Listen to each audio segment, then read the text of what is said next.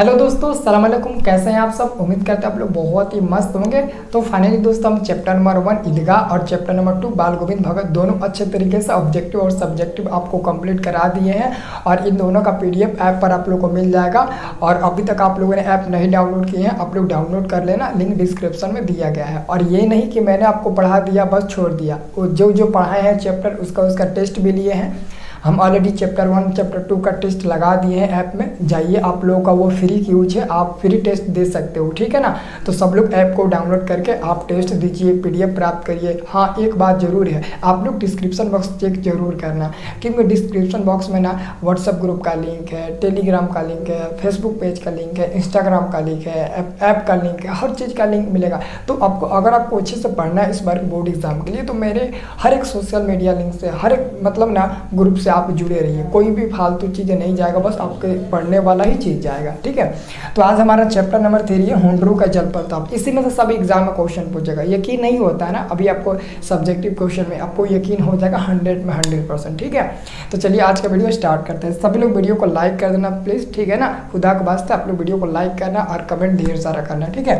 तो यहाँ पर दोस्तों हमारे पास पहला नंबर क्वेश्चन है कि अबरक अबरक और कोयला खदानों का वर्णन किस पाठ में दोस्तों, किया गया है। तो ये दोस्तों, किया गया है आपका हुंडरू का जल प्रताप हुंडरू का जल प्रताप पाठ में किया गया है। तो आपका आंसर पहला नंबर क्वेश्चन का ए नंबर मिल जाएगा ठीक है ना? आप इसे याद रखिएगा। अगला हमारे पास दूसरा नंबर क्वेश्चन है। देखिए, ये हमारा दूसरा नंबर दोस्तों क्वेश्चन है कि स्वर्ण रेखा स्वर्ण रेखा नदी, रांची, धनबाद, सिंहभूम, एवं वालासोर जिलों से होकर कहाँ मिलती है? तो ये बंगाल की खाड़ी में मिलती है। बंगाल की खाड़ी में मिलती है दोस्तों ऑप्शन नंबर आपका यहाँ पर सी नंबर बिल्कुल सही जवाब हो जाएगा। क्वेश्चन नंबर दूसरा का हमारा आंसर क्या मिल जाएगा? सी नंबर मिल जाएगा, ठीक है? अब देखिए, अगला दोस्तों हमारा क्वेश्चन आता है। अगला हमारे पास क्वेश्चन आता है, तीसरा नंबर। ध्यान से देखिए, ये थोड़ा सा बड़ा है, इसको छोटा कर लेते हैं। ये हमारा तीसरा नंबर क्वेश्चन है। दानी दान करता है तो गुमान करता है। पर युग युग से न जाने कितना पानी यह पहाड़ दान कर चुका है, इसको कोई अभिमान नहीं किस पार्ट से संबंधित है। तो हुंडरू का जल प्रताप। दोस्तों, ये जो कथन है ना, वो काफ़ी इंपॉर्टेंट है, काफ़ी महत्वपूर्ण ये तथ्य है। इस इस वाक्य से, इस पंक्ति से हमको सीखने को कुछ मिलती है। आपको पता है ना कि आजकल का मनुष्य थोड़ा सा किसी को दान क्या कर देता है, थोड़ा सा किसी की मदद क्या कर देता है? मदद करने से ही पहले पहले दो चार बातें सुना देता है। और उस मदद के बदले वो कुछ लेता भी है। आजकल के मनुष्य लेता है ना सच बात है ना? ये बिल्कुल सच बात है। लेकिन पहाड़ है वो कितने लोगों को कितना चीज़ दे दिया मुफ़्त में पानी होनी लेकिन वो तो कभी अपने आप को गुमान ही नहीं करता। वो तो उस आ, आ, मतलब ना आ, मदद के बदले कुछ माँगता ही नहीं है। तो वैसे ही दोस्तों आजकल के मनुष्य आप स्वार्थी हो गए हैं लेकिन आप लोग बहुत अच्छे हो। होना अच्छा इसलिए आप लोग वीडियो को लाइक करते हो कमेंट करते हो ठीक है? अब देखिए, अगला हमारे पास क्वेश्चन है। मैं आपको सारे चैप्टर ऐसे ही बता दूँगा, आप लोग कंप्लीट कर लेना, ठीक है? हुनरू का जल प्रताप, शीर्षक पाठ साहित्य की कौन सी विद्या है? तो ये दोस्तों, यात्रा वृत्तांत है।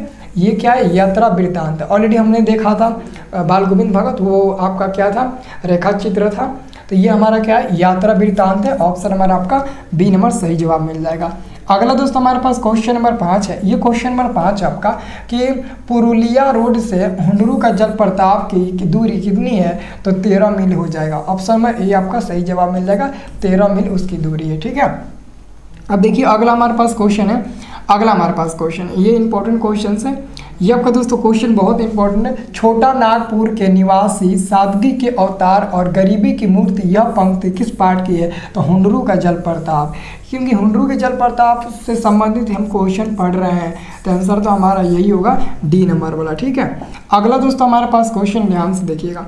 अगला हमारे पास क्वेश्चन नंबर है सात, नंबर देखिए। अगला हमारे पास क्वेश्चन नंबर सात है, हुंडरू का जल प्रताप शीर्षक अध्याय में किसके प्रति विश्वास प्रकट किया गया है? किसके प्रति? तो बहुलवादी संस्कृति के प्रति मतलब ना, विश्वास प्रकट किया गया तो आंसर आपका सात नंबर का ऑप्शन नंबर ए, आपका सही जवाब हो जाएगा, ठीक है? दोस्तों, आप लोग को एक काम करना है। इस वीडियो को ना अपने तमाम, अपने भाई बहन बहनों और अपने दोस्तों के पास शेयर करना है, ठीक है ना? क्योंकि दोस्तों, मेरे को ना सबसे ज़्यादा जो मुस्लिम लड़के होते हैं ना जो मुस्लिम लड़के नहीं होते हैं और लड़के, उन लोगों से मेरे को बहुत अच्छा लगा होता है। क्योंकि पता है ना कि जो आजकल के मुस्लिम लड़के हो ना, लड़के होते हैं ना, वो शिक्षक को बहुत ज़्यादा सम्मान देते हैं।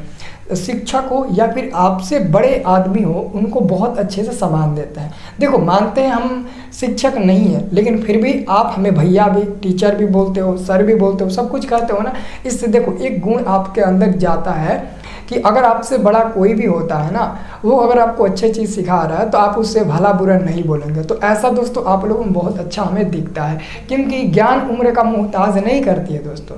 याद है ना आप लोगों को कि ज्ञान जो होती है ना, वो उम्र का मोहताज नहीं करती है। अगर हम हैं, अगर कोई छोटा बच्चा भी हमें कुछ अच्छा ज्ञान देता है तो हमको ज्ञान लेना चाहिए। ज्ञान कहीं से मिले, आपको लेना चाहिए। लेकिन आजकल के कुछ ऐसे लड़के हैं ना जो कभी ये कमेंट करते हैं, कभी ये कमेंट करते हैं, कभी वो कमेंट करते हैं। तो उन लोगों के अंदर ये चरित्र, ये गुण नहीं होता है। पता है क्यों?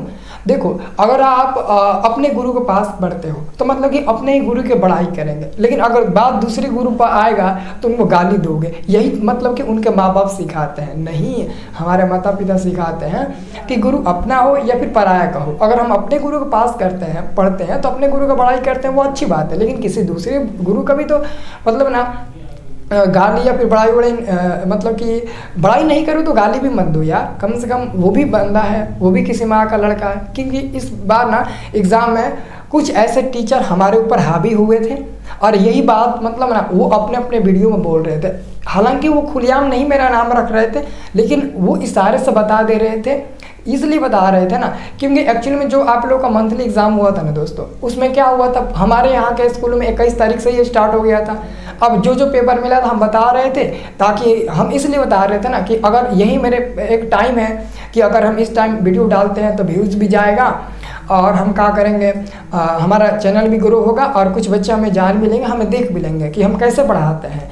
लेकिन बहुत ऐसे लड़कों ने कहा कि, सर, आप पेपर वाले करते हैं, ये गलत काम करते हैं, ये करते हैं, वो करते हैं। लेकिन उन लोगों को ये भी नहीं समझ में आता है कि सही बात है, सर बोल रहे हैं कि कई, किसी स्कूल में इक्कीस से हो रहा है, किसी स्कूल में चौबीस से हो रहा है, और अभी किसी स्कूल में सत्ताईस से स्टार्ट हुआ है। तो सत्ताईस तारीख से जहाँ पर स्टार्ट हुआ है ना, वहाँ के लड़के हमसे फ़ोन करके बोलते हैं। कि सर, हमारे स्कूल में सत्ताईस तारीख में हिंदी का पेपर आप दे दीजिए तो हम बोलते हैं यूट्यूब पर वीडियो है, जाकर आप लोग देख लीजिए। तो मैंने इसमें गलत क्या किया? अगर मानते हैं दोस्तों, मैंने पेपर लिख ही कहता तो हमें अभी तक बोर्ड हमें नहीं पकड़ लिया होता। ये भी तो कम से कम बंदे को समझना चाहिए। जो टीचर उनको क्लास में बोलता है, उनको भी तो समझना चाहिए।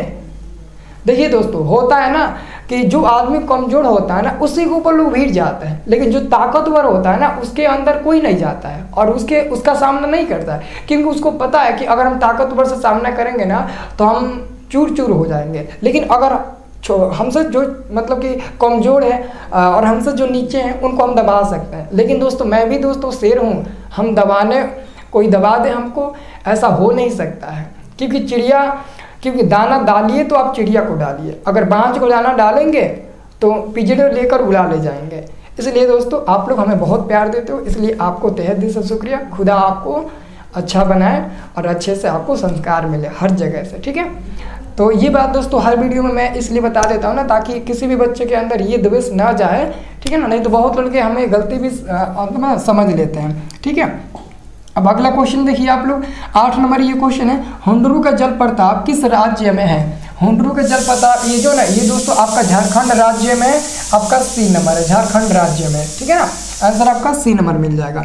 अगला दोस्तों हमारे पास क्वेश्चन है, नौ नंबर। ये क्वेश्चन है, रांची से रांची से हुंडरू का जल प्रताप की दूरी जो है वो कितना किलोमीटर है? मतलब कितना मील दूर है, ये आपको दोस्तों बताना है। तो आप सबको हाँ ठीक है, बहुत बढ़िया। तो कितना होगा? आपका सत्ताईस मील दूर होगा, ठीक है ना? सत्ताईस मील दूर होगा, ये आपको याद रखना है। अगला हमारे पास क्वेश्चन है कि स्वर्ण का एक टुकड़ा है। स्वर्ण का एक टुकड़ा है तो छोटा नागपुर हो जाएगा दोस्तों, आपका यहाँ पर आंसर सी नंबर मिल जाएगा। छोटा नागपुर हो जाएगा, इसे आप लोग अच्छे से याद रखिएगा। अब देखिए, अगला हमारे पास क्वेश्चन है, कमता प्रसाद सिंह काम रचित पाठ शीर्षक है। तो झुंडू का जल प्रताप, यानी कि आंसर आपका ए नंबर दोस्तों, सही जवाब मिल जाएगा। अगला दोस्तों हमारे पास क्वेश्चन है। अगला हमारे पास क्वेश्चन ध्यान से देखिएगा। ये देखिए दोस्तों, हमारे पास क्वेश्चन है। अगला है बारह नंबर। बारह नंबर क्वेश्चन है, हुंडरू का पानी किस तरह चक्कर काटता है? सांप की तरह। सांप पानी में कैसे तैरता है? चलता है। आपको पता है ना? आंसर आपका दोस्तों यहाँ पर बी नंबर बिल्कुल सही जवाब हो जाएगा, ठीक है? अब देखिए, अगला हमारे पास क्वेश्चन है दोस्तों। अगला हमारे पास क्वेश्चन है। ये क्वेश्चन आपका है कि साध्य की पवित्रता एवं महता महता तभी है जब उसका साधना भी महान हो। यह किसकी युक्ति है? यह किसकी युक्ति है? तो महात्मा गांधी जी का। महात्मा गांधी जी का, जिनका जन्म 2 अक्टूबर अठारह सौ उनहत्तर ईस्वी में गुजरात के प्रबंधन में हुआ था। मृत्यु हुआ था 30 जनवरी उन्नीस सौ अड़तालीस ईस्वी में नथुराम घोष ने उनको गोली मारा था। अब देखिए किम किम किमदंती किमदंती के अनुसार हुंडरू से कितने मील की दूरी पर कुछ लोगों ने हुंडरू से भी कई गुना बड़े प्रताप देखा। कई गुने बड़े प्रताप देखा तो सात। आपका आंसर हो जाएगा, यहाँ पर आपका डी नंबर मिल जाएगा। अब दोस्तों, अगला क्वेश्चन देखिए। रांची से रांची से पुरुलिया वाली सड़क पर कितने मील जाने के बाद हुंडरू पहुँचने वाला, वाली सड़क मिलती है? तो चौदह मील। चौदह मील आपका आंसर यहाँ पर भी डी नंबर मिलेगा। अब दोस्तों, अगला हमारे पास क्वेश्चन नंबर सोलह है। ये क्वेश्चन नंबर आपका सोलह है कि हुंडरू इतना बड़ा प्रताप है जहाँ फुट से पानी नीचे गिरता है। कितना फुट से पानी जो है ना, वो नीचे गिरता है? तो आपको दोस्तों याद रखना है, वो दो फुट ऊँचे से ना नीचे पानी गिरता है, इतना ऊँचा है कि। अब हमारा दोस्तों एक और क्वेश्चन है। स्वर्ण रेखा है। स्वर्ण रेखा एक क्या है दोस्तों? झरना है, नदी है, ये भी झील है, ये भी दोस्तों तालाब है। तो दोस्तों आप सबको याद रखना है, ये दोस्तों हमारा क्या होता है? एक नदी होता है। तो आंसर आपका बी नंबर मिल जाएगा। ये चैप्टर बहुत छोटा है। ये एक छोटा सा चैप्टर है। इससे भी चार पाँच सब्जेक्टिव क्वेश्चन पूछा जाता है। इसी में से पूछेगा, बाहर से नहीं पूछेगा। और इस चैप्टर में दोस्तों एक वो सब्जेक्टिव क्वेश्चन है, इसे आप लोग को नोट कर लेना। बस एक वहीं को सब्जेक्टिव क्वेश्चन है। आप इसके ज़्यादा आपको सब्जेक्टिव नहीं मिलेगा, बस एक वहीं को सब्जेक्टिव मिलेगा, इसको पढ़ लीजिए, देख लीजिए। यहाँ पर क्या कह रहा है? कह रहा है कि लघुतरीय प्रश्न, एक वहीं को सब्जेक्टिव है, यही बार बार पूछता है, देख लो। पंद्रह, सत्रह, अठारह, उन्नीस, बीस, बाईस, हर बार यही पूछता है। अब तेईस में, चौबीस में नहीं पूछा, पचास पच्चीस में एकदम लगातार ये क्वेश्चन पूछेगा। आप लोग यकीन के साथ देख सकते हैं। हुंडरू का झरना, हुंडरू हुंडरू का झरना कैसे बना? इसका उत्तर आपको देख लेना है। तो उत्तर देख लीजिए। और इस सबका पीडीएफ आपको मिल जाएगा। आप लोग जाकर ऐप से डाउनलोड कर लेना। स्वर्ण रेखा नदी, जहाँ पहाड़ को पार करने की चेष्टा में पहाड़ पर चढ़ती है, वहाँ पानी की कई धाराएँ हो जाती है। जब सबकी सब धाराएँ एक होकर पहाड़ से नीचे गिरती है, तब एक विचित्र दृश्य दिखलाई देता है। यही हुंडरू का झरना है। इसकी ऊंचाई दो फुट है। उजला पानी ऐसा प्रतीत होता है कि पानी के चक्कर और भावर में पिसकर पत्थर का सफ़ेद चून गिर रहा है। मतलब ऐसा मतलब कि वो दिखाई देता है जब उतने हाई से नीचे पानी गिरता है तो, तो ये दोस्तों आपको अच्छे से याद रख लेना है। दोस्तों एक बात बोलते हैं आप लोग अच्छे से पढ़ लीजिए दोस्तों ठीक है ना? मैं जितना भी आपको दूँगा ना आपको अच्छे मटेरियल ही दूँगा और अच्छे से अच्छे से बताने का ही कोशिश करूँगा ठीक है? आप एक काम करिएगा जब ऐप डाउनलोड करिएगा ना तो उसमें सारा मटेरियल आप ओपन करिएगा ना। कुछ कुछ है जिसमें पैसा नहीं मांगेगा, लेकिन बाकी सब में आपका पैसा मांगेगा। एक सौ निन्यानवे रुपया। तो अगर दोस्तों आप किसी भी पीडीएफ को ओपन करते हो, एक सौ निन्यानवे रुपया आप लोगों से वहाँ पर मांगा जा रहा है ना तो उसमें तो आप पेमेंट कर नहीं सकते हैं, क्योंकि हर किसी के पास ऑनलाइन पेमेंट करने का सुविधा नहीं होता है गूगल पे पे फ़ोन अगर आपको पास आप लोगों के पास नहीं है ना तो आप हमारा मोबाइल नंबर ले लीजिए। और इस नंबर पर हमसे फ़ोन करके पूछिएगा कि, सर जी, हम आपके नंबर पर पेमेंट कर देते हैं और आप हमें ऐप फ्री कर दीजिए। और हम, अगर आपके पास और कुछ नोट्स वगैरह है तो वो भेज दीजिए, हम पढ़ेंगे। क्योंकि दो सौ रुपया लगता है जी। दो सौ रुपया आप लोग मतलब ना, ज़्यादा मत समझिएगा। जैसे हम मेहनत करते हैं, जैसे आपका पिताश्री भी मेहनत करते हैं तो आपको, आपके पिताश्री को पैसा मिलता है। आपके अबू को पैसा मिलता है ना, मेहनत करते हैं, तभी ना मिलता है। दीदी तो हम भी मेहनत करते हैं, हमारा भी कुछ खर्चा पानी आता है, जो भी हमारे नोट्स को तैयार करते हैं क्लास को तैयार करते हैं, बाकी मेहनत करते हैं। तो इसलिए दोस्तों, हम ना इतना पैसा लेते हैं दो सौ रुपया। बाकी लोग, आप लोग देखे होंगे यूट्यूब पर, बाकी लोग नौ सौ निन्यानवे रुपया, दो हज़ार रुपया, कोई चार सौ निन्यानवे रुपया, और कुछ नहीं देता है। जो मैं दूँगा ना, उसका अगर आधा भी वो लोग दे देते हैं ना तो काम बन जाता है। कहते हैं ना कि अगर आपको साथ देना है तो उसका साथ दो जिसका कोई नहीं है। जीतू ही बाजी तो हर लोग देखते हैं, और जीतू ही बाजी का साथ तो हर कोई देता है। लेकिन जिसका कोई नहीं होता है, एक बार आप उन लोगों का साथ देकर दिखिए तो। ऑलरेडी हम पहले ही ऐलान कर दिए थे कि अगर किसी के पिताश्री नहीं होंगे तो डायरेक्ट हमसे फ़ोन करना, कहना कि, सर जी, हमारे पिताश्री नहीं है तो प्लीज़ हमें सारे क्लास का पीडीएफ और क्लास में जोड़ दीजिए और हमको फ्री में पढ़ा दीजिए तो मैं उनको फ्री में पढ़ा दूँगा। ऐसा हमने बिल्कुल कहा है आपको वीडियो में। और अभी भी कह रहा हूँ ठीक है ना? इसलिए दोस्तों जो भी आ, हम लोग के खिलाफ बोलते हैं आप बोलने दीजिए कोई दिक्कत नहीं है।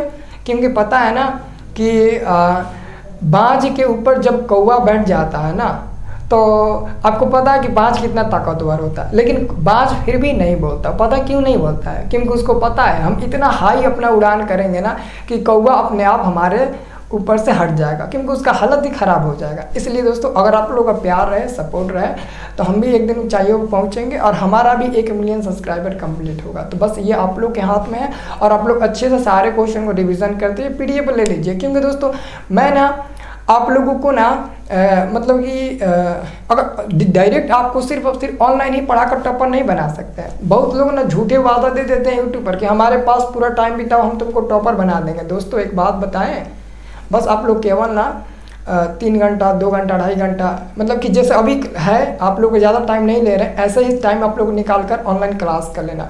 बाकी दोपहर में क्लास नहीं होता है मेरा मतलब कि कभी कभी होता है ग्यारह बजे लेकिन सुबह में नहीं होता है। सब सेल्फ स्टडी करना बुक से पढ़ना सेल्फ स्टडी पढ़ना नोट्स लेकर पढ़ना, एकदम पढ़ना। देखो सेल्फ स्टडी ही आपको टॉपर बनाएगा और अच्छे नंबर दिलाएगा। ठीक है ना?